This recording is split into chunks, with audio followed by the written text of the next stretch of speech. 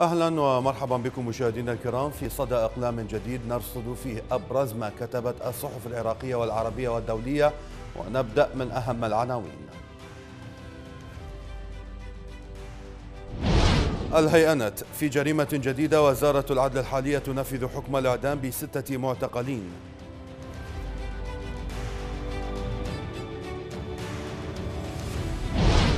المدى عام على إعادة الانتشار في كركوك النازحون الكرد لم يعودوا إلى منازلهم ومجلس المحافظة معطل. كتابات لقاءات الساعات الأخيرة لتشكيل الحكومة العراقية وأنباء عن نصف حكومة السبت.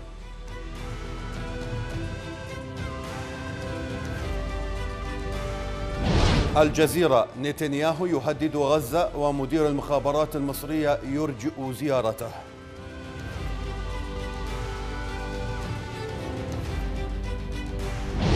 العرب الجديد روسيا قلقون حيال محاولة واشنطن تأسيس شبه دولة بسوريا.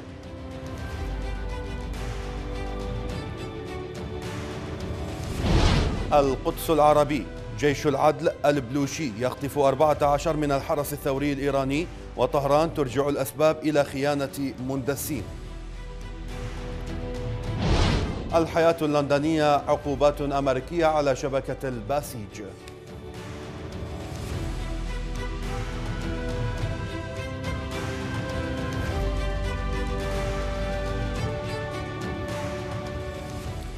ومن العناوين ننتقل إلى المقالات وأول مقال لنا من صحيفة المدى حيث وجدنا في متنه. معظم الدلائل الفنية تشير إلى خطورة إقامة السد على شط العرب لمنع تدفق المد الملحي من الدخول فيه. وبحسب مختصين في شؤون المياه فإن الشط سيتحول إلى بركة آسنة كثيرة الجزر وسيندثر في غضون سنوات. وسيبني المحوسمون منازلهم عليها. نتيجة الطمي والغرين الذي يأتي به نهر دجلة والأنهر التي تصب فيه حيث سيقوم السد بمنع الترسبات هذه من الذهاب إلى البحر. لكن كل الحلول فشلت بالبصرة والحكومة عاجزة بحسب مقال للكاتب طالب عبد العزيز. اجتهد كثيرون من ذوي الاختصاص في البحث عن مخرج للأزمة وانتشرت في مواقع التواصل مخططات ومرتسامات كثيرة. أيضا كلها تتحدث عن سدود وقنوات تصريف ومشاريع ري لكن لا نتيجة لذلك. الكل خائف ومتردد والحكومة بلا خبرات فنية. لم تستشر شركة متخصصة ويبدو أنها تنتظر من تركيا بزيادة الإطلاقات المائية في دجلة أو تتوسل إيران لكي تفرج عن إطلاقات مائية كاذبة في شط العرب والحكومة الفيدرالية لم تتشكل. ذلك لأن مزاد الوزارات لم يبدأ بعد. فيما يكتوي البصريون بأزمة الماء المالح منذ أربعة أشهر أو أكثر وقد أخفقت العتبة والحشد والحكومة. المحلية وحكومة بغداد. هؤلاء كلهم مجتمعون أخفقوا ولم يفلحوا بإيجاد حل نهائي حتى لأزمة شبكة ماء الإسالة. إذ أن ما تؤمنه قناة البدع لمشاريع الإسالة لا يتجاوز الخمسة والعشرين بالمئة من حاجة المدينة. ولأننا في مجتمع البصرة أبناء فلاحين تتلمذنا في مدرسة الزراعة والسقي فقد آلمنا أن لا يجد هؤلاء كلهم مخرجا لأزمتنا التي أكلت الأخضر واليابس في المدينة التي تنتج أكثر من 3 مليون برميل يوميا. يضيف الكاتب قد لا يتصور أحد في بغداد حجم الكارثة البيئية التي حلت بالبصرة إذ بإحصائية بسيطة وبافتراض أن شجرتين هلكتا في كل حديقة منزل بصري. سيكون أن البصرة فقدت مليون شجرة. وأن مئات الآلاف من الطيور والأسماك قد نفقت وأن كل ما كان أخضر وظلالا بات شمسا تحرق. وكل ما كان هواء نقيا أو أكسجينا صار ثاني أكسيد كربون. وهكذا ترى أو ترى هل لدى الحكومة المزيد من الوقت لكي تصمت؟ وكم تريد من حالات التسمم لكي تقنع بوجوب التعجيل بالحل لأزمة المدينة بملايينها الثلاثة؟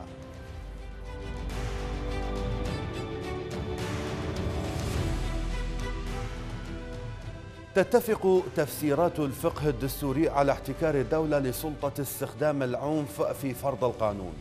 ويتطلب أي مسعى لبناء الدولة الحضارية الحديثة تطبيق هذا الاحتكار. ومن دونه تبقى مجرد فلسفة نظرية بلا تطبيق. السؤال كيف يمكن للدولة العراقية احتكار هذه السلطة؟ سؤال يطرحه الكاتب مازن صاحب في صحيفة الزمان العراقية بمقال له ربما هناك من يبرر وجود هذا النشاط المسلح لأسباب تتعلق بالغزو الأمريكي للعراق وكأنهم ليسوا نتاجا لهذا الغزو أو يبرر ذلك لأسباب تتعلق بالدفاع عن العرض والشرف ضد الإرهاب الداعشي وكأن تطبيقاتهم. لا تختلف كثيرا في ذات الانطباع الذهني عن النموذج الصحراوي في تطبيق أحكام مختلفة حولها مقارنة بحقوق الإنسان في العهود الدولية، لذلك سيبقى العراق يواجه أطماع الغير في نهب ثرواته ما دامت مبررات هذا النهب مقننة بمفاسد المحاصصة ومحمية بجماعات مسلحة وحكومة عميقة، هل يعني ذلك دخول العراق النفق المظلم بلا رجعة؟ الجواب على ذلك يتمثل في ركنين أساسيين، الأول وجود الكثير من الشرائح الاجتماعية التي ترفض الانفكاك من مشروعية احتكار الدولة للسلاح تحت ذات المبررات، وأيضا لكونها ترفض طبيعة هذا الانصياع لأضرار تصيب مصالحها الاقتصادية، وهذا يؤسس لمشروعية لمشروعية وجود هذه الجماعات على مقاعد مجلس النواب لإدارة الدولة بمفهومها دون أن يتطابق ذلك آه، شرطا مع مضمون بناء الدولة الحضارية الحديثة والركن الثاني يتمثل في الأغلبية الصامتة التي تسعى لتداول أيامها لعل وعسى يأتي التغيير بعد بركان خارجي. ليس للدولة سلطة واحدة تحتكر استخدام العنف في فرض سيادة القانون. بل هناك سلطات متداخلة بقوانين مختلفة كل منها يحاول فرض احتكاره للعنف بوسائل غير قانونية أدت إلى ظهور جماعات أبو فلان وعلان. كل منها يفرض نفوذه بطريقته الخاصة ناهيك عن سلطة عشائر التي غادرت أعرافها الحميدة إلى ممارسات لا عقلانية في العنف المنفلت. فضلا عن ذلك الذي يريد تحقيق طموحه القومي والانفصال عن العراق. هذه السلطات تبريراتها سلبية مرة والأخرى موضوعية. جعلت الإنسان لا يلجأ إلى الدولة للمطالبة بحقه أمام القانون وهكذا تحولت الدولة بسلطاتها المتعارضة والمتداخلة إلى أنموذج الدولة البدائية التي يلوذ الإنسان بالكهوف من الحيوانات المفترسة بحسب الكاتب.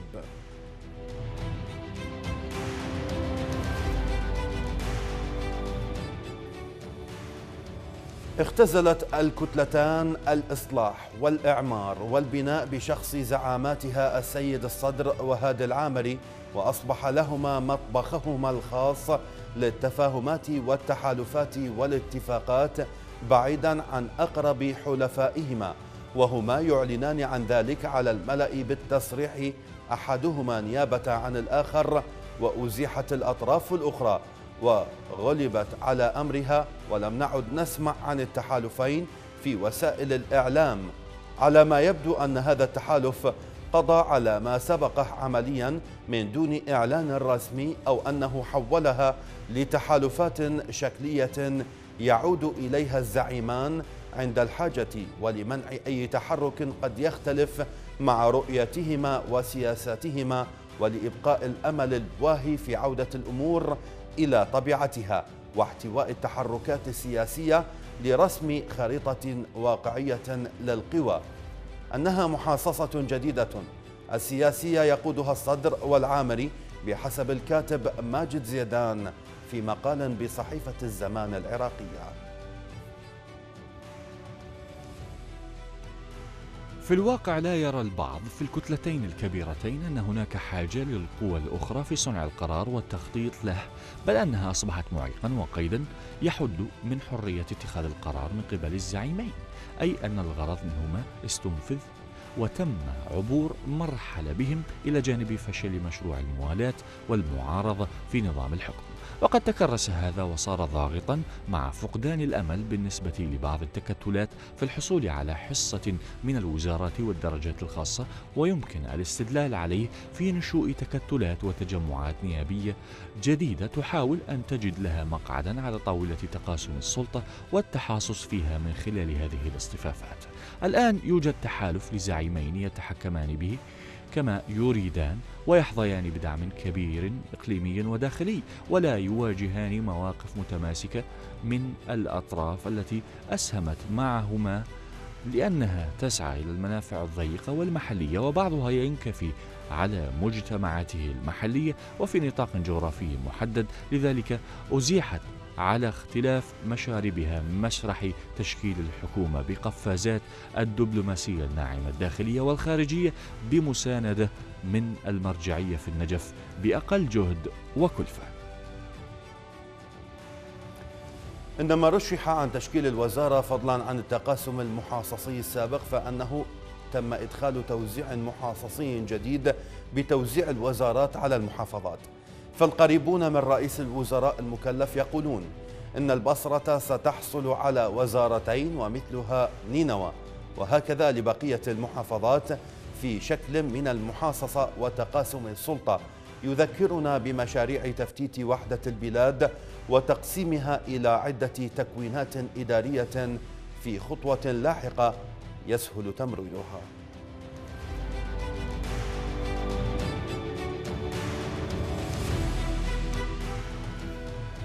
فتش عن إيران بعد أن تحولت أذرعها الإرهابية الميليشاوية إلى برامج سياسية في أكثر من دولة إضافة إلى أنشطتها الأمنية والاستخباراتية بما يرصد لها من أسلحة وتمويل مشبوه المصادر وأسباب انفتاح لعملياتها. فالأعمال الإرهابية للنظام الإيراني تنفذ في عالم من الفوضى يغطي تعبئة أفراد ومجاميع توفرت على طريق تصدعات الاحتلال الأمريكي للعراق. وما تشظت عنه المجتمعات تحت ضربات الإرهاب المذهبي المدعوم عمليا وفي وضح النهار من قبل محور تنظيم الدولة في إيران.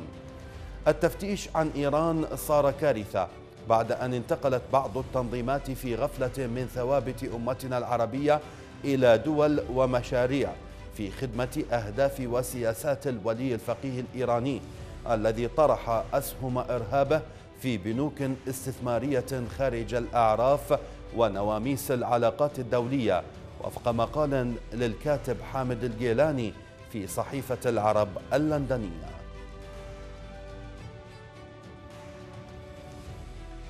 فتش عن إيران بين الآلاف والملايين من القتلى والجرحى والأرامل واليتامى النازحين من مدنهم إلى الخيام أو بين الهاربين من حدود العراق وسوريا وغيرهما من بلدان التمدد المذهبي لمشروع ولاية الفقيه الإرهابي.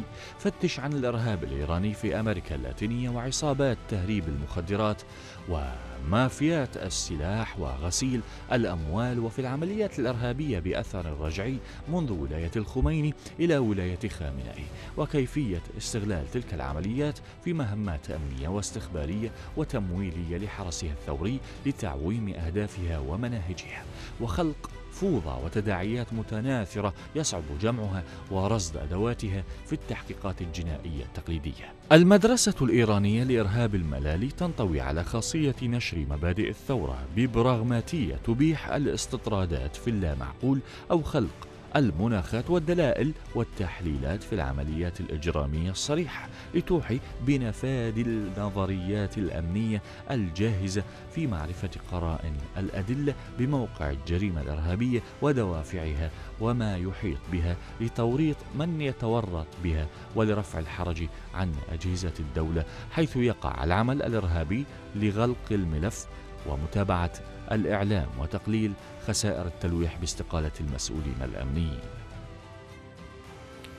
ويضيف الكاتب الأمة العربية اليوم مستهدفة باستهداف المملكة العربية السعودية فتش عن خفايا معادلة الصراع الإيراني العربي على وجود أمتنا. فتش عن ثنايا إيران في الخطابات الأمريكية للرئيس دونالد ترامب قبل الانتخابات النصفية المقبلة. وما يطرحه من فتات توازنات في المنطقة تتلقفه إيران لتساوم به.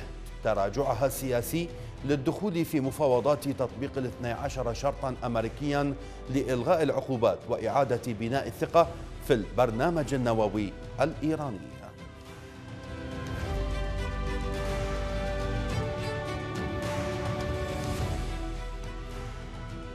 أعيد فتح المعبر الحدودي نصيب بين الأردن وسوريا بعد إقفال شامل للحدود بين البلدين استمر منذ عام 2015 ولم يتطلب الأمر زيارة يقوم بها العاهل الأردني إلى دمشق أو زيارة رئيس وزرائه أو حتى وزير النقل في حكومته.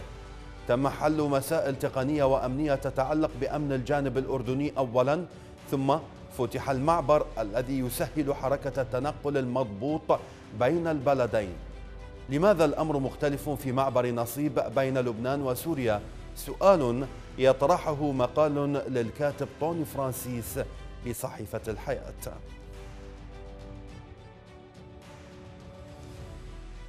غير نصيب والقنيطرة لا تزال المعابر السورية مع العراق مقفلة إلا لضرورات عمل الحشد الشعبي والاستشاريين الإيرانيين. تضاف إليهم قوات التحالف الدولي بقيادة القوات الأمريكية وأحد أهداف زيارة إبراهيم الجعفري إلى دمشق. كان البحث في إمكان فتح المنافذ المتاحة بين البلدين للتبادل والمرور الطبيعي.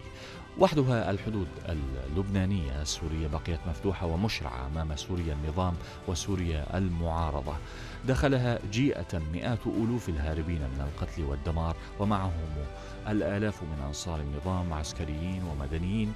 مئات الألوف كانوا يبحثون عن مأوى وجماعة النظام يبحثون عن أعمال وطبابة ومحطة سفر. وذهابا ظلت الحدود. مفتوحة أمام الألوف من عناصر حزب الله بعتادهم وأسلحتهم وقد هبوا للدفاع عن الأسد وحكمه وتم ذلك بحرية تامة ومن دون قيود فيما كان لبنانيون كثر بينهم وزراء وسياسيون يواصلون زياراتهم لدمشق لأعمالهم الخاصة أو تأكيد الولاء والاطمئنان إلى أوضاع السادة السابقين. مع ذلك لم تثر ضجة عن ضرورة البحث المباشر بين حكومتي البلدين كما أثيرت في الحديث عن العلاقات السورية اللبنانية. لم يحصل ذلك في الأردن ولا في العراق ولا مع تركيا ولا حتى مع إسرائيل. بدت الاشتراطات على معبر نصيب وكأنها مسألة لبنانية. صار التعامل اللبناني مع النظام السوري شرطا لاستفادة أصحاب الشاحنات من المعبر. مثلما جعل النظام السوري من مصافحة لبنان الرسمي الأسد شرطا لعودة مواطني إلى سوريا. إنه الابتزاز الفاقع الذي يعتقد بعض الساسة في لبنان أنه يحسن مواقعهم في مواجهة خصومهم المحليين ويمارسه سوريو الوصاية بحكم تطبعهم وطبعهم والطبع عادة ما يغلب التطبع.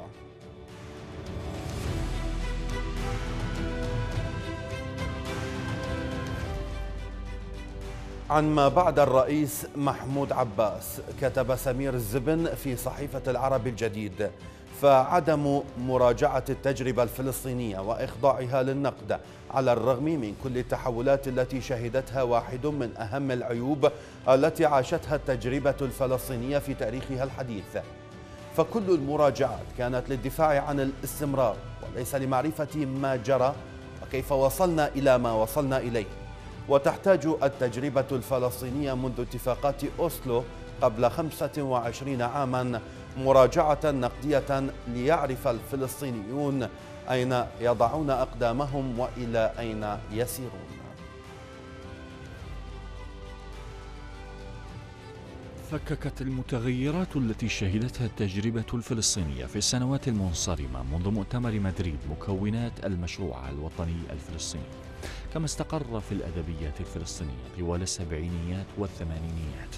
وإذا كان صحيحا أن التجربة الفلسطينية خضعت للتغييرات في الهدف الاستراتيجي كآلية للتكيف مع الشروط والضغوط التي تعرضت لها فإن هذه المتغيرات التي ظهرت تأثيراتها البنيوية على التجربة الفلسطينية بعد الاتفاقات الفلسطينية الإسرائيلية تبين أنها لم تكن تغييرات تعبيرا عن الانحناء للعاصفة كي تمر لأن العاصفة بقيت والمتغيرات ترسخت في الساحة الفلسطينية بوصفها اختزالا للمشروع الوطني الفلسطيني إلى حكم ذاتي تحت سلطة الاحتلال. ويمكن القول أنه مع غياب الرئيس عباس سيغيب عن الساحة السياسية الفلسطينية الحرس القديم في الحركة الفلسطينية ويغيب معها المشروع الوطني نهائيا. وسيأتي حرس جديد هذه المرة من مركز النظام السياسي الفلسطيني المتشظي نقل الراية إلى الحرس الجديد دلالة على نقل السلطة والقرار السياسي إلى القيادة التي تنتمي إلى الداخل جغرافيا وليست التي دخلت إلى الأراضي الفلسطينية بفعل الاتفاقات مع الكيان الصهيوني. ولكن هذا الحرس الجديد سيتصارع على فتات السلطة الفلسطينية وستأخذ هذه الصراعات طابعا عشائريا يدور حول مصالح ضيقة لفئات مرتبطة خارجيا. وسيكون هذا الصراع الداخلي في ظل الاحتلال. الإعلان النهائي عن انهيار المشروع الوطني الفلسطيني والتحول إلى روابط قرى جديدة مرتبطة بالاحتلال حسب الكاتب.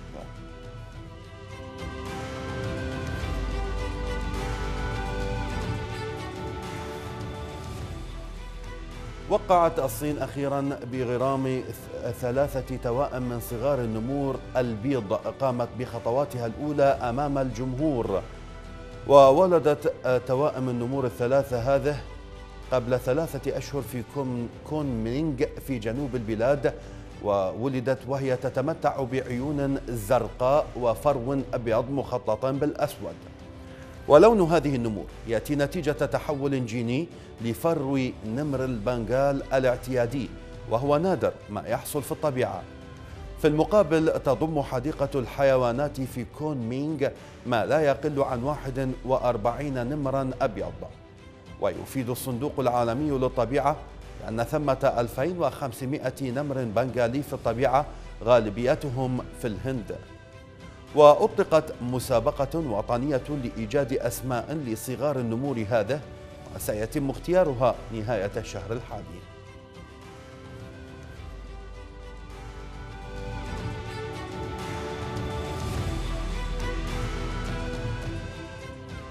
بعض صور الكاريكاتير التي اخترناها لكم من صحف اليوم نتابعها الآن.